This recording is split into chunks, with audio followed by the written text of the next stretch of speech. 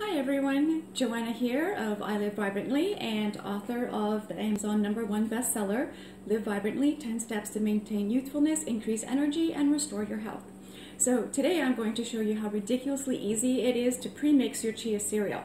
And that's one of the recipes that I have in the three-day sample menu. It's the Chia Power Me Up cereal. And so all I've done is I have doubled the ingredients. So I have two cups of chia seeds, I have one cup of hemp, one cup of coconut, uh, raw, uh, organic, shredded coconut, which is actually not in the recipe. Um, so I'm a little uh, deviating a little bit here uh, today with this. I have the um, cacao and the cinnamon already pre-mixed, and I have actually um, increased the amount of spirulina because we happen to love spirulina in our house. So, uh, and I don't have maca on hand right now, which I would normally add as well too, but this is how easy it is to pre-mix your cereal. You take your two cups, you pour it into whatever container you're going to be using to store it in. You take the rest of it, you pour that in there. Then you take your cacao and your seasonings, whatever you choose to use.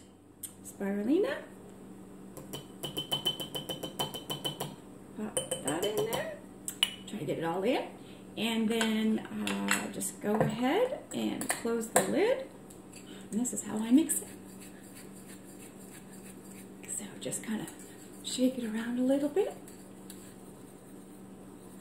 So you get it all in there. That. Whoops, make a mess.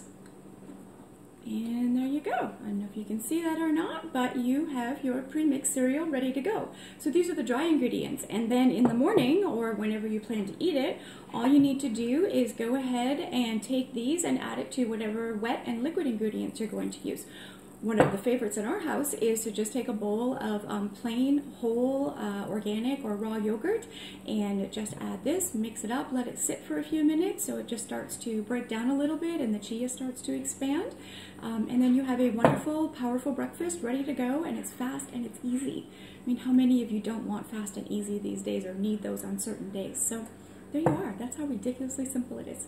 So next time, until next time, see you later.